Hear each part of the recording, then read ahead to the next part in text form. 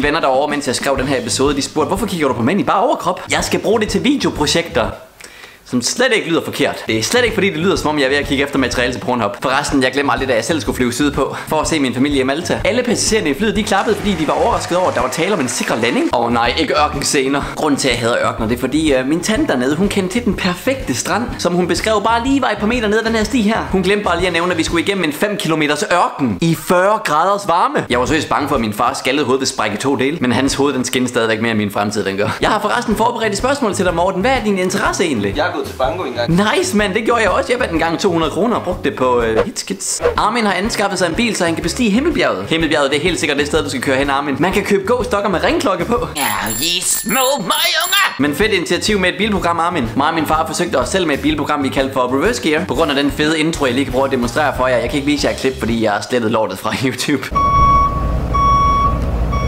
Hvad sker der, smukke? Skal du med ud og flækkes i min Fiat Multipla? Ja, det var den bil, min far havde. I Hassan, jeg har lige anskaffet mig min yndlingsbil. Wow, far, hvor vildt tillykke! Er det mon en Ferrari?